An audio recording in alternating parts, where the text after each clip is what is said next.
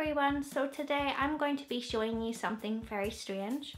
So I got a lot of people asking me to do more rat videos, so today I'm going to be doing more rat videos. So I've got my ratties over there and they're just having a nap. This is like their nap area. So they really like to sleep here throughout the day. So they're on the bed sleeping most of the time. So people bitching about my cage they're only in it at night time because obviously I can't have them running around my room eating cables. Now, the first thing that we found out a few months ago, which was out of the ordinary, and we were completely shocked about this, which is why the title is named this, is I like to say she's gender fluid.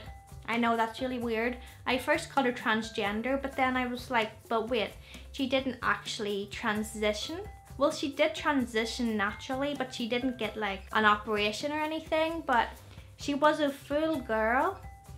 And then after a year old, she turned into a mix of both. Basically, her hair fell out because she had hormone issues. The vet told me this, so it's confirmed. She is intersex. She is has a hormone imbalance, so she has a little bit of testosterone. She can't have children. She never could have children, but it was only more noticeable when she got older. She gets something that only male rats get, which is the weirdest thing, and it's very rare for females to get. And it's called buck grease. I will insert a photo like here if you want to see what that nasty thing is. It's basically grease that comes out of male rats' skin and it's um it's like a yellow oil wax. And the vet said yeah she definitely has buck grease. And I was like bitch what? Like did I have a meal the whole time? I'm going to show you her sister right now. So let me get her sister for you. Okay so this is her sister.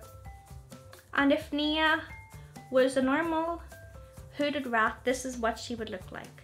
She would have full fur healthy looking, silky. Can you see her? She is so beautiful. Mom, please stop.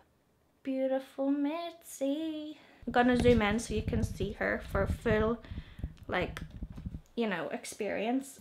You know, she's wrinkly, pink, and you can see the balding around her face and coming down. And the buck grease down here.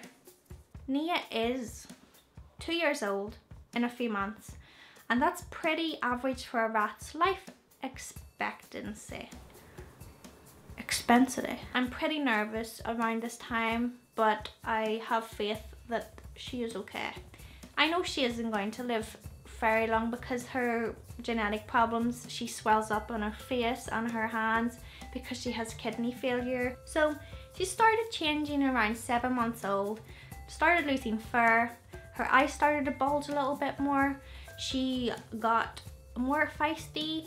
She was wrinklier. Everything changed and I didn't know what was happening. We got her checked at the vet and she has no mites, which is a cause. She's not stressed because she lives like a luxurious life.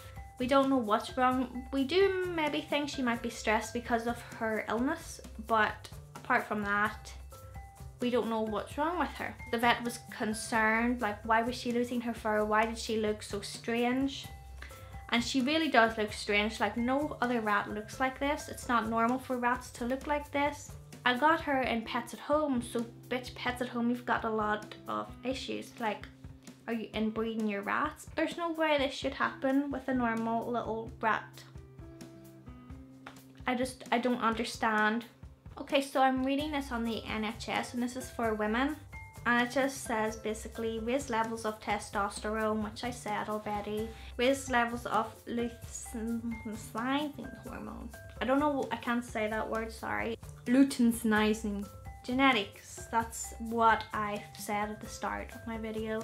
There must have been something wrong with her genetics because that's it. There's very little known about it and nothing can be done to cure it and that's just the way it is.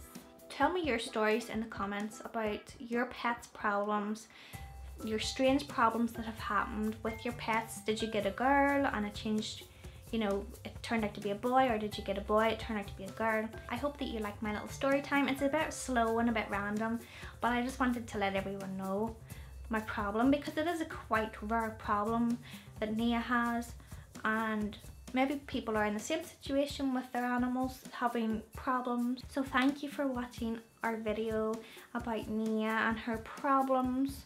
But you know, she's living life, she doesn't care and she's okay. Bye guys.